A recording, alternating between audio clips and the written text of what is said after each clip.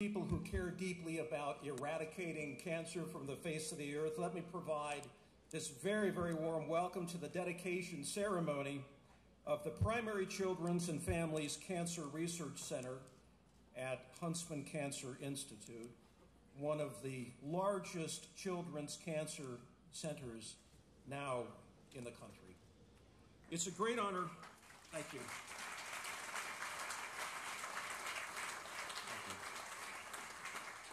It is a, it's a great honor uh, as part of the Huntsman clan and formerly involved in the Huntsman Cancer Foundation uh, to be here today.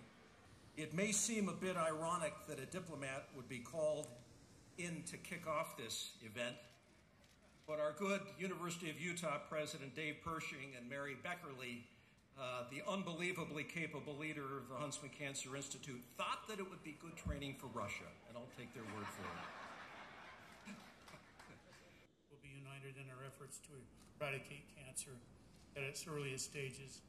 We'll work together as a combined team and that we will be able to end this disease once and for all. And in this spirit and in this cause, and as a birthday gift from me to you, our family and the Huntsman Cancer Foundation hereby donates another $120 million to this cause. Thank you very much.